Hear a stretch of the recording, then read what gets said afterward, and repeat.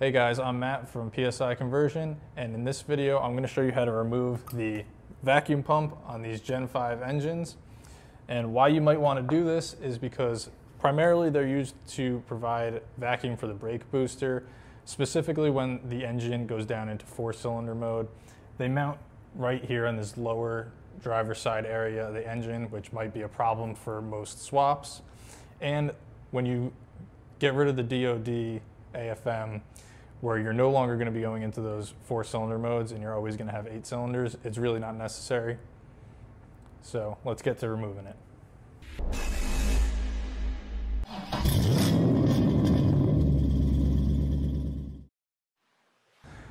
So the first thing we're going to do is remove the serpentine belt off the front accessories to get to the actual belt for the vacuum pump.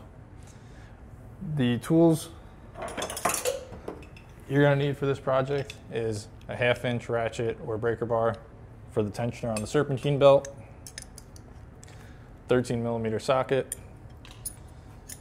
You might also need a 13 millimeter wrench if your engine is in a vehicle or on a stand like this one to get to some of the bolts.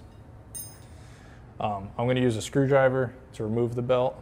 There is a special tool to remove these stretch belts, but I, uh, I have no need for it, so I'm just going to use a screwdriver as well as a number six Allen socket or Allen wrench.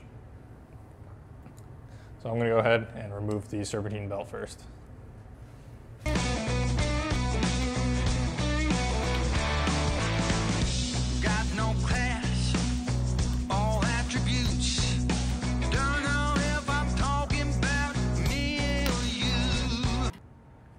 All right, I got the serpentine belt removed. The AC belt would also normally need to be removed. However, that's long gone since we put this on the run stand.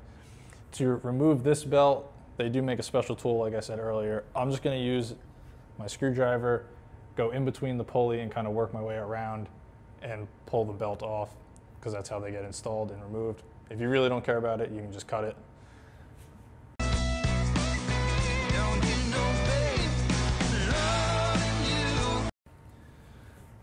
belt's off. So we'll go ahead and remove the pump next. So to remove the actual pump, there's four 13 millimeter bolts. I just have to take this wire out of the way and then remove those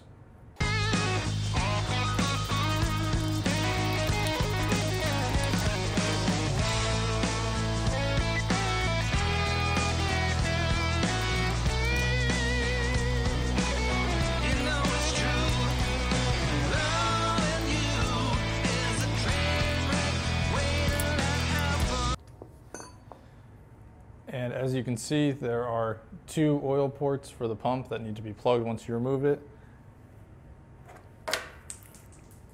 We sell a kit with these two oil uh, plugs, Allen heads. That's going to be ACC 1059. And you're just going to take the number six Allen and thread these plugs right into these ports.